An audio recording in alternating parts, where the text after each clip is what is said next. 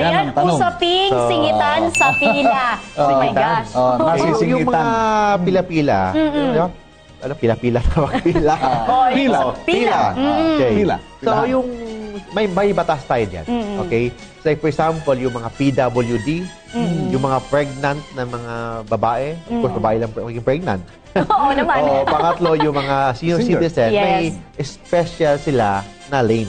Pero express lane. O yun yan. So, iba yun. Kasi, Nasa batas yun, nasa- nasa attorney, batas ano? yun.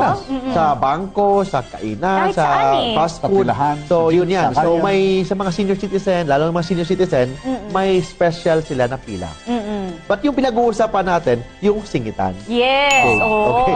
So, pwede ka bang sumingit kasi you are a senior citizen? Mm-mm. Pwede ka bang sumingit kasi you are a PWD? Pwede ka bang sumingit kasi buntis ka? So, yun ang pinag-uusapan natin. Iba kasi yung express lane, yung lane nila, special lane nila, iba naman yung sa regular lane na pwede ba yung mga OFW, uh, OFW senior citizen, PWD, PWD, sumingit. pregnant. Oo. Oo, yun yan. So, yun ang pina- pag-uusapan natin. Actually, may pending na, na batas. A pending na bill. Di ba? House bill. Mm. House bill. House bill. House bill, this is just a proposal. Proposal. Okay. Ano yung House bill na yan? Ito yung bawal ang pasaway. Anti-pasaway Act.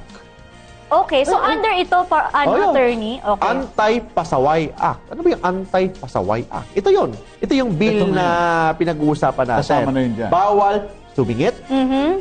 Pag may pila, bawal kang sumingit, bawal kang magpasingit. Iba yung sumingit, iba yung magpasingit.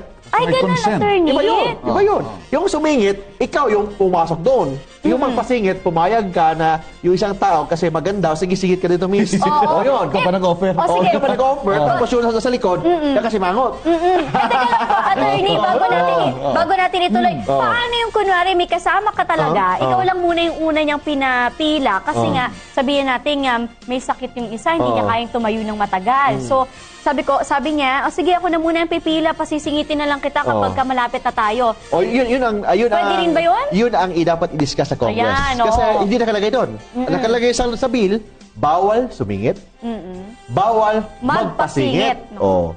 Pangatlo, bawal ka mag-create ng eksena para malito yung tao kung saan sa singit. Ay, totoo, attorney. Yung for example, doon ka sa gitna ng fast food, kakanta ka sa gitna.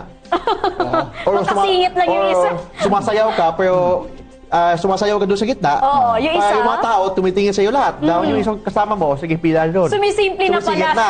O, mga ganon. Okay. Oh. Like for example, before, may bayad yung magpila. I think, I think in the embassy, kumuha ka ng visa. Before, this is before, wala pa yung mga... Computer, computer. Wala pa yung computer.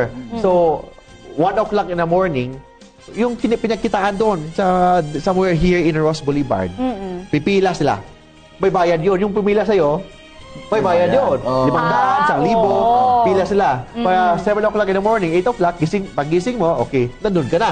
Pero actually, may nakapila sa'yo, 1 o'clock in the morning, doon na yun. Mm-mm. Kasi nga naman, para hindi ka gigising ng sobrang Oh, aga. yun yan. Naku, So, yun, ang, yun ang paraan. mga, yun ang sinasabi, bawal sumingit, bawal magpasingit, bawal ah, Mag- gumawa ng komosyon. gumawa ng commotion or any eksena doon.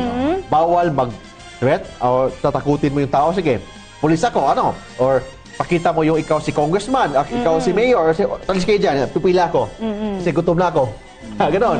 So, bawal yun. Yun ang sinasabi ng, pro- ng bill na Proposal yan. na ito, This is the only bill. proposal. But may may exception. Mm-mm. Pwedeng Oh, anong sumingit si senior citizen. Oh. Pwedeng sumingit si buntis. Wala na wala nakalagay kung 8 months na ba, Oo. kahit na Basta buntis. kahit maliit pa lang yung dugo doon sa loob, okay na buntis ka na eh. Oo. Basta may positive lang yung ano yung pregnancy test, basta positive, buntis ka na. Mhm. Wala nakalagay kung ganun kalaki yung tiyan mo o ganun kaliit yung tiyan mo. Basta buntis. Walang definition kung anong klaseng Mukhang buntis. hirap malaman yan ha. Eh, paano yung iba ng mga Oo. chubby nating friends Oo. sasabihin, buntis ako Oo, eh. yun. Di ba? Oo. Bayan. Oh, bun- yung sinabi ng batas, buntis. Pero I think dito sa may government agency, yung halatang buntis lang kailangan. Okay. Halatang buntis, Ano yung kakapain ba ba yun? Nakakaya naman kasi. six kung months, mahirap na- six Oo. months, seven Oo. months, eight Ayun. months. Mm. Pero yung isang araw ka parang buntis, okay, Ay, hindi buntis pa yun. Hindi naman yun siguro. Naku, Pero I don't know kaya mo kasi, pa yun. Ang sinabi ng batas, buntis na baba, babae. O ah, senior citizen. So, yun lang ang sinabi ng batas. So, PWD, may o basic. PWD Yan. kasama doon. O, so yun ang mga exempted.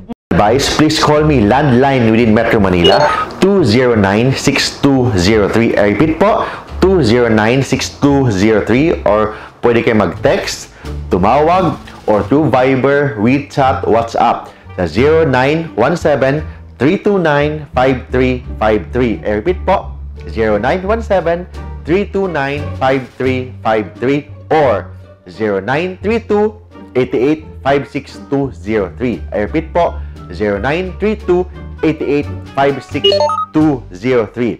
Please like, subscribe, and share my Facebook page sa facebook.com slash Mark Tolentino Law. I repeat po, facebook.com slash Mark Tolentino Law. And of course, my YouTube page sa youtube.com slash Mark Tolentino Law. Thank you po.